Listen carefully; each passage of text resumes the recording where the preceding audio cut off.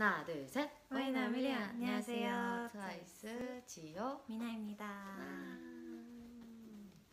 네, 오늘 이렇게 저희가 안녕하세요 왔는데요. 네. 저희가 이제 곧 바로 내일 컴백이잖아요, 미나 아, 씨. 네, 그죠. 네.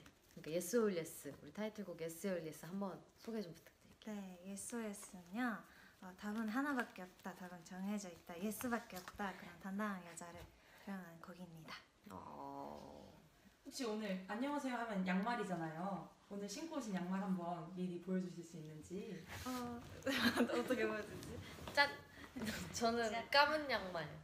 저는 베이지색. 음. 회색, 베이지색. 네.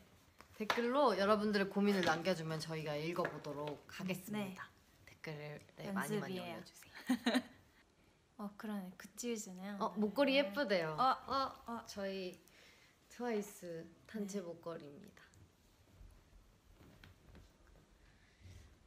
트와이스가 너무 보고 싶은데 어떡해요? 내일 6시 컴백하니까. 네.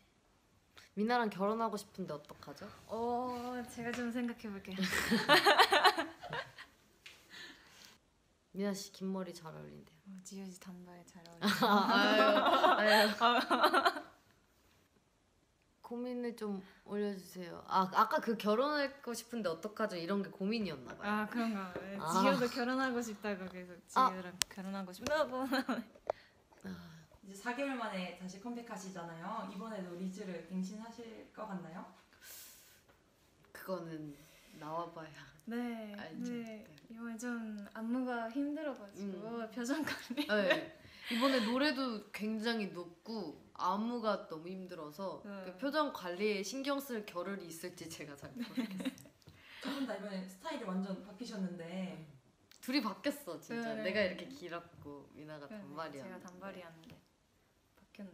그러니까요. 두분 다 되게 잘 어울리시는 것 같아요. 아, 아 감사합니다.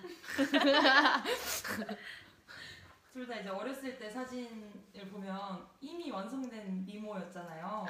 솔직히 내가 몇 살 때부터 좀 나 좀 예쁘다 알았는지 음. 음, 저는 근데 어릴 때 그 외국인 같다는 소리를 너무 많이 들어서 음. 약간 그런 쪽으로 생각을 내가 진짜 외국인 같이 생겼구나 어릴 때부터 약간 그런 생각은 많이 했던 것 같아요.